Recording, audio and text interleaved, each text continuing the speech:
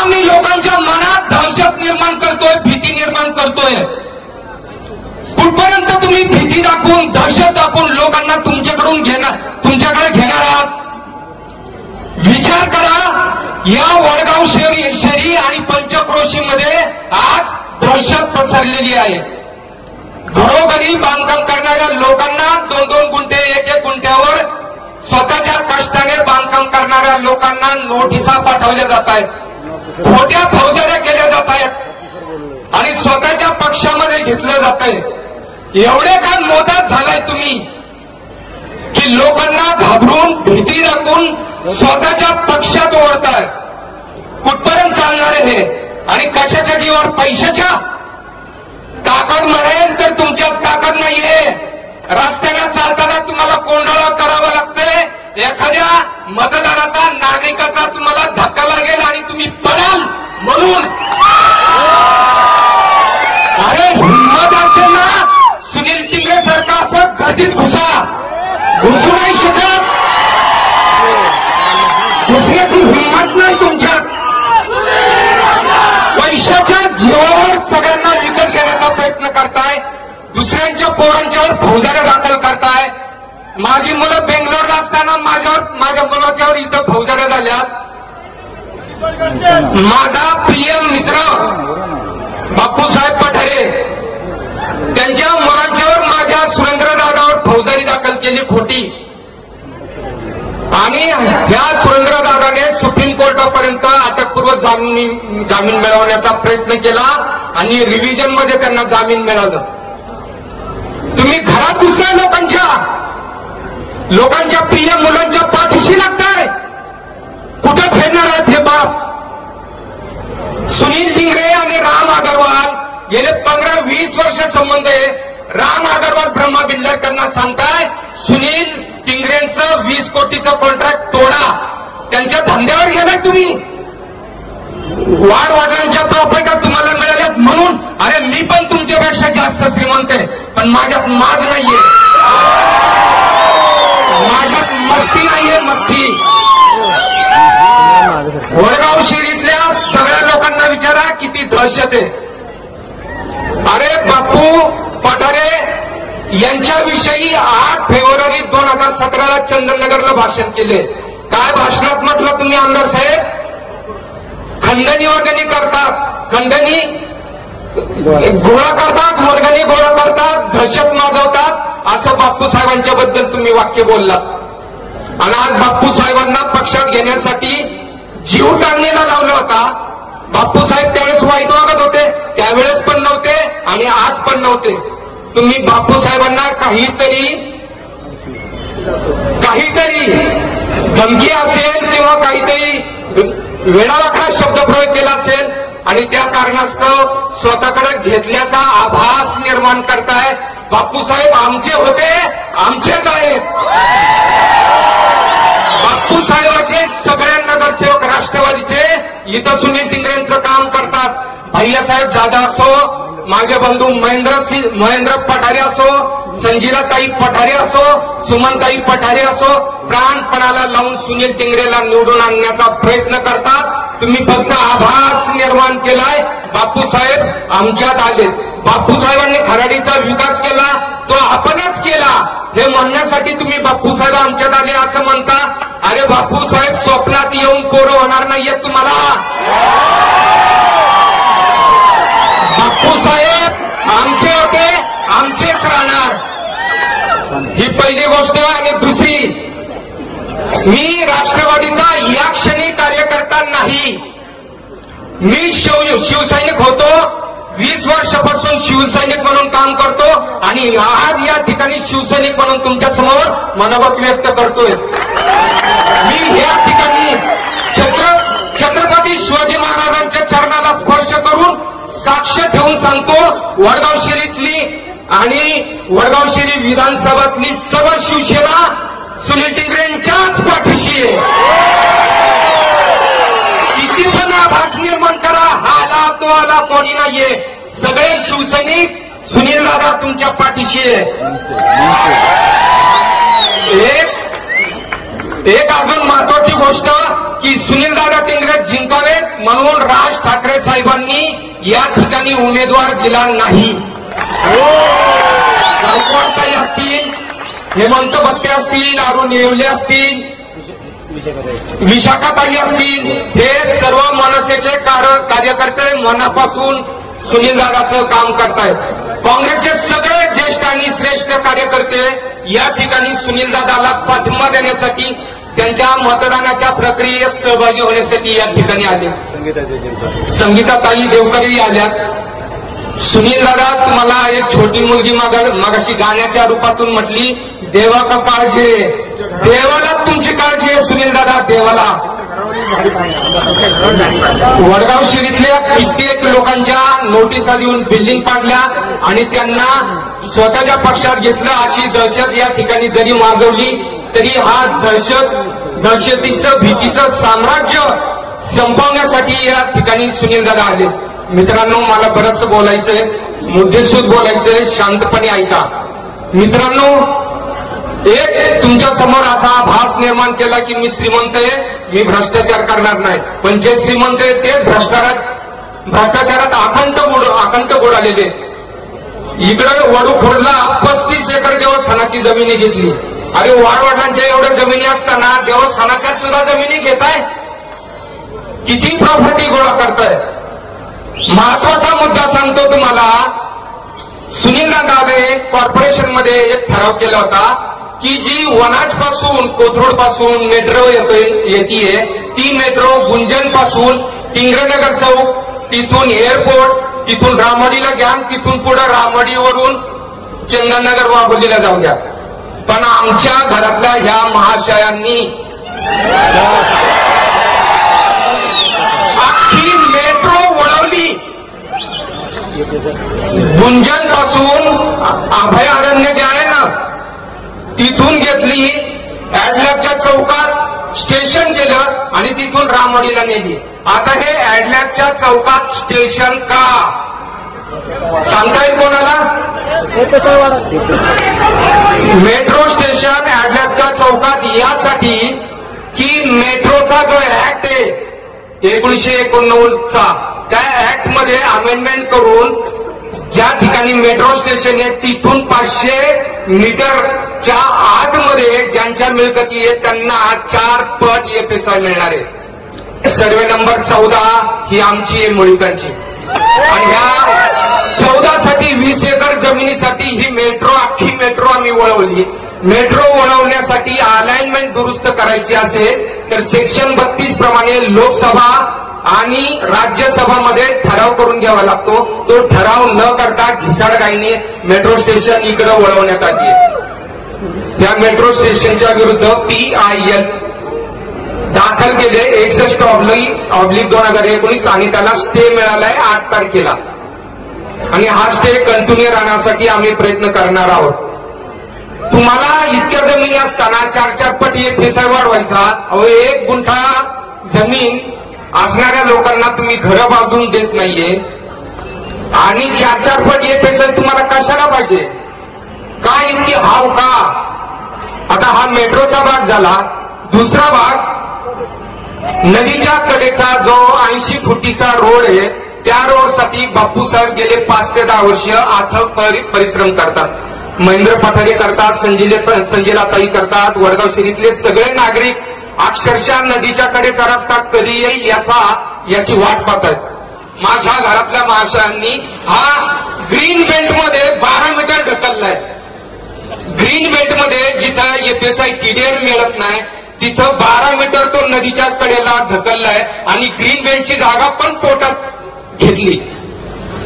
या रस्त्याला मी ऑब्जेक्शन घेतले. हा रस्ता हॉरिझॉन्टल एकाच लेवलने झाला पाहिजे. तो सर्वे नंबर पंधरा मध्ये असा झालाय आणि चौदा तेरा मध्ये असा खाली आलाय आणि परत अकरा मध्ये माझ्या जागेत असं वर आलाय. मित्रांनो मला सांगा रस्ता हा पूर रेषेच्या पातळीमध्ये खाली जर असेल तर पावसाळ्यात त्याच्यावर पाणी येणार. आता पंचेचाळीस पंचेचाळीस हजार क्युसेक्सनी जेव्हा पाणी सोडलं होतं तेव्हा सगळं पाणी त्या रस्त्यावर जमा झालं होतं. जर नदीच्या कडेचा रस्ता असा भ्रष्टाचार करून लो लेवलमध्ये तुम्ही कन्स्ट्रक्ट करणार असाल आणि पाऊस जर पडला तर सगळं ट्रॅफिक जाम होईल या रस्त्याचा उपयोग काय होणार? पण घिसाड घाईत दोन कोटीचं रक्कम तिथं टेंडर म्हणून टाकलं आणि तो रस्ता चार सहा महिन्यात पटापट उडकून पण टाकला. कारण दोन कोटीचं टेंडरमध्ये रस्ता उरकण्यापेक्षा दोन कोटीच्या टेंडरमध्ये वीस टक्के रक्कम मिळते हे मोहाची गोष्ट असल्यामुळे ती गोष्ट सोडायची नाही. म्हणून हा घिसाड रस्ता केला. या रस्त्यामध्ये जी नदीच्या ग्रीन बेल्ट मधली झाडं होती ती पण रात्रीची तोडून टाकली. मला कळत नाही हे असे कसले लाकूड तोडे रात्रीचे घुसतात आणि जंगल साफ करतात. त्या आऱ्यामध्ये सुद्धा रात्रीचं घुसून जंगल साफ केलं. तर हा असा नदीच्या कडेचा रस्त्याचा हा भाग आहे. दुसरा भाग सांगतो S C M T R high communication mass transit road हा इथून सर्वे नंबर पाच नंतर नऊ नंतर आठ नंतर दहा नंतर बावीस नंतर तेवीस आणि त्याच्यानंतर तो विमाननगर चौकात जातोय. हा रस्ता डीपी मध्ये आठ आठ दोन हजार आठच्या डीपी मध्ये सँक्शन असताना तिथं सँक्शन हे सी असताना त्यांनी आता अलाइनमेंट बदलले आणि हा रस्ता नारायण गलांडे भीम गलांडे प्रकाश भाऊ गलांडे हे राष्ट्रवादीचं काम करतात. त्यांना त्रास देण्यासाठी तो रस्ता पश्चिमेकडे त्यांनी ढकलला यांच्या जमिनीमध्ये. जेणेकरून यांच्या जमिनी नॉन बिल्टेबल व्हाव्यात. यासाठी हा एस चा उद्योग केलाय. आता हा एस सी बावीसमध्ये गेल्यानंतर संजू पवार वाडेकर वगैरेंच्या ज्या जमिनी आहेत सोपाननगरच्या जमिनी ह्या सगळ्या जमिनीच्या घरावरून हा रस्ता जातोय. यांना गोरगरिबांच्या घरांचं काही देणं घेणं नाहीये. अहो हे आमचे मासे परवा दिवशी एक ठिकाणी गप्पा मारताना सांगितले राजकारण म्हणजे काय? इन्व्हेस्ट करायचे आणि दुप्पट तिप्पट पैसे काढायचे. म्हणजे आमचा व्यवसाय झाला आमच्या घराचा राजकारण हा धंदा झालाय धंदा. अशी परिस्थिती वडगाव शहरीमध्ये निर्माण झालेली आहे. भ्रष्टाचार आपल्याला कोणत्याही प्रकारे थांबवायचा आहे. तुमच्या लक्षात येणार नाहीये. मी त्या घरातला असल्यामुळं मला भ्रष्टाचार ते कसा करतात हे मला सगळ्यात प्रथम उघड होतं आणि हे मी तुम्हाला शब्दरूपाने आता तुमच्यासमोर सांगतोय. हा भ्रष्टाचार थांबलाच पाहिजे. हा थांबण्यासाठी तुम्ही सर्वांनी सुनील दादा टिंगरेंना निवडून दिलं पाहिजे. मगाशी भाषण करताना भीमराव गलांडे यांनी असं सांगितलं की वडगाव शेरीचा पाणी प्रश्नाचा विषय घ्या रस्त्याचा घ्या इथल्या नागरिकांचा प्रश्न घ्या. तीनशे सत्तर काय सांगताय? पस्तीस ए का सांगता? सकटनी पण आता सांगितलं. की तीनशे सत्तर आणि पस्तीस याचा संबंध काय? घरी मी गेल्यानंतर बायकोला सांगितलं जेवायला वाढा. ती सांगते अहो तीनशे सत्तर रद्द झालं ना आता कशाला जेवायला पाहिजे? हा काय प्रकार? तीनशे सत्तर इतकं घरात घेता का तुम्ही? गावातल्या लोकांना पाण्याचा प्रश्न सोडवा ना. अहो मी हजार कोटीचा मालक आहे तरी माझ्या घरात पाण्याचा प्रश्न आहे. तुम्ही तर सर्वसामान्य माणसं परवा दिवशी ब्रह्मा सनसिटीतल्या लोकांनी गेटवर एक बोर्ड लावला. No water no hole why hole. पंधरा सोळा पोरं पाठवली. ती माथाडे काम करतो काळे ना. त्याची पोरं आली. तो सागर काळे सागर काळे तो मला निरोप पाठवतोय की घरातलाच आहे. असं का करता? अरे तू घरातला एक कबूल हे मग माझ्या या घरातल्या लोकांना का लुटताय? यांना लुटू नका. मला त्रास द्या. मी भक्कम आहे तुमचा त्रास अंगावर घ्यायला. मित्रांनो की पोरं आली आणि सनसिटीच्या गेटवरच्या निष्पाप वॉचमनला मारहाण केली आणि निघून गेले. सनसिटीतले लोक अतिशय घाबरलेले ज्ञाती मेरोजमध्ये हीच परिस्थिती आहे. स्प्लेंडर सिटी मध्ये हीच परिस्थिती आहे. कुमार सिटी मध्ये हीच परिस्थिती आहे. घरोंग घरोंगामध्ये हीच परिस्थिती आहे. लोक म्हणतात पाणी द्या. तुम्ही बोट तोडताय वॉचमनला मारताय. अरे जा ना लोकांच्याकडं. चॅलेंजर सतीश मळीचं लोकांच्या पाण्याचा प्रश्न जेव्हा निर्माण होईल मी सुनील दादाला या ठिकाणी घेऊन येईल आणि सुनील दादाला राग येणार नसेल तर मी सांगतो तुमच्या कानाला पकडून मी इथं घेऊन येईल एवढी हिंमत आहे माझ्या प्रश्न सोडवायला मी भाग पाडणार. आणि परत सांगतो जर सुनील दादाने प्रश्न नाही सोडव सोडवला पुढच्या वेळेस मी या ठिकाणी सुनील दादासाठी नसणार. मला तुमचा प्रश्न सोडवायचा आहे. लोकसेवक असो राजकारणी तुम्ही दिलेल्या निवडणुकीतून ज्याचा जन्म झालाय त्याने तुमच्यासाठी काम केलं पाहिजे. मग असं काम करायच्या ऐवजी तुम्ही भ्रष्टाचाराच्या पाठीमागे लागतात जे लोक पाणी मागतात त्यांच्याकडे जा त्यांच्या बरोबर बसा त्यांना विचारा तुमच्या समस्या काय आहेत? डेलिगेट करा त्यांच्या बरोबर. सांगा पाणी कधी आणू कसं आणू कसं शक्य आहे? पण पाण्याचा प्रश्न सोडायचा नाही. त्या गार्डनला झोंबत बसले. छत्रपती शिवाजी महाराजांची शपथ घेऊन सांगतो त्या गार्डनला मी नाव दिलं शिवाजी महाराज. चंदननगरच्या सभेत सांगतात की आम्ही नाव दिलं. अरे एकोणीसशे सत्तेचाळीस ला स्वातंत्र्य तुम्हीच मिळालं असं सांगा की. त्या एकट्या गार्डनमध्ये त्या गार्डनच्या नावावर किती वेळा सांगून मतदान मिळवणार? आठ कोटी खर्च केले. सगळं बेकायदेशीर बांधकाम आहे. ज्या गार्डनमध्ये फक्त ग्रीनरी पाहिजे तिथं बहात्तर लाखाचं प्लॅटफॉर्म का बांधलं? काय गरज आहे? बहात्तर लाखाचं प्लॅटफॉर्म बांधायला. एखादी पाण्याची टाकी बांधा ना. किती बांधकाम केली तिथं? एका एका गार्डनमध्ये तुम्ही आठ आठ कोटी खर्च करत असाल गरज काय? ग्रीनरी आहे बस झालं ना. आता त्या गार्डनमध्ये तथाकथित केला जाणारा विकास थांबवा. आणि काय म्हणतात आम्ही कशाला नावं देत नाही? ऍडलॅबच्या रस्त्याला कुणाचं नाव आहे? मुळिकांचं नाव आहे. तुम्ही काय सांगता? आम्ही नावं देत नाही. दिलं ना आमचं मुळीकांचं नाव ऍडलॅबच्या रस्त्याला. अहो हे नावं देवाण देण्याचा प्रकार परवा लाज वाटली मला. मी घरातून मित्राला घेऊन निघालो. सनसिटीच्या चौकात थांबलो. मला अचानक म्हटलं थांबा थांबा मुळीक सर थांबलो. तो गेला. परत आला. म्हटलं कुठे गेला होता म्हटलं तुमच्या मुतारीत गेलो होतो. म्हटलं आमच्या मुतारीत? म्हटलं वरती गेले. मुळीक मुतारीवर. अरे कुठं कुठं नाव देताय? किती घालवताय मुळीकांच्या नावाची खराबी करताय?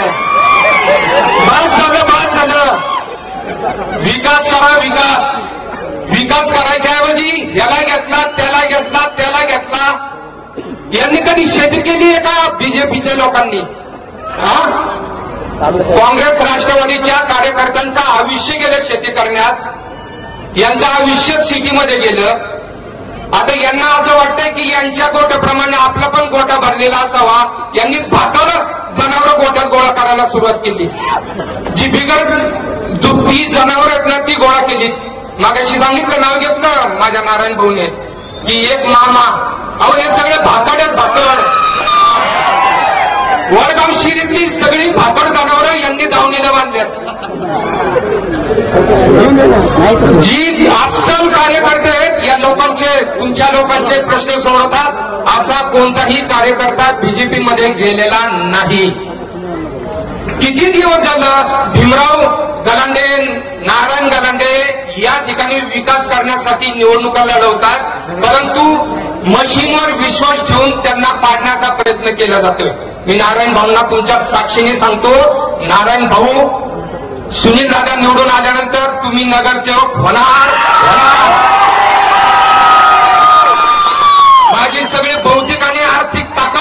माझा मानस पुत्र नारायणसाठी. नारायण तुम्ही नगरसेवक होणार. मित्रांनो मी बराच वेळ घेतला यानंतर बऱ्याच जणांना बोलायचंय. पण या ठिकाणी मी तुम्हाला कळकळणी सांगतो की सुनील टिंगरे हा जातीचा हाडाचा समाजसेवक आहे आणि त्याला निवडून द्या. यावेळेस प्रचंड सहानुभूतीची लाट निर्माण झालेली आहे. वडगाव शहरीतल्या सर्व थरातल्या अगदी तुम्ही म्हणता ना की सोसायटीचे लोक ब्लाइंडली बीजेपीला होट करतात यावेळेस कोणी करणार नाही. यावेळेस सगळेजण विकासाला म्हणजे सुनील दादा टिंगरेंना मत देणारे भारतीय राष्ट्रीय काँग्रेस राष्ट्रवादी काँग्रेस मनसेचे आणि वडगाव शिरीतल्या हाडाच्या शिवसैनिकाचे उमेदवार सुनील दादा टिंगरे यांच्या यांची निशाणी घड्याळ्याच्या चिन्हावर बटन दाबा आणि सुनील नडाना निवडून द्या. अशी मी कळकळीची विनंती करतो आणि माझ्या शब्दात संपवतो. जय महाराष्ट्र. जय हिंद.